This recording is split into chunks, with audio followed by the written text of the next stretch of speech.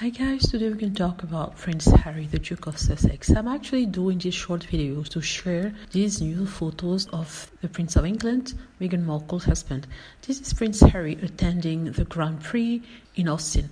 Well, actually, the Grand Prix would be tomorrow, the race would be tomorrow, and Harry was in Austin to visit the team, to talk to some of the workers there and also the drivers. So Harry looked fantastic. He was relaxed, he was smiling, he was seen talking with many people, asking questions. He seems genuinely interested. It's the first time since they landed in Atlanta or in America from their one week vacation in Granada that we see outside, fans of Meghan Markle are very happy. He is doing his own thing, being completely independent from the royal family and taking some time off for what he's really passionate about. I think at one point he was interviewed by the TV station called Formula One USA.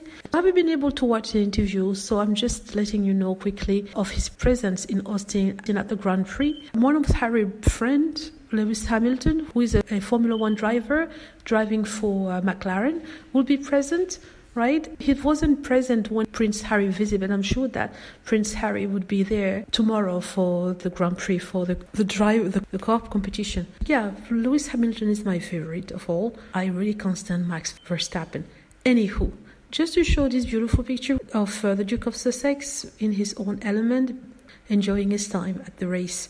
Let me know what you think. Hope you liked the video. Feel free to click on like if it's the case, subscribe for more videos and click on the notification bell to be notified when I post a new video. Thank you.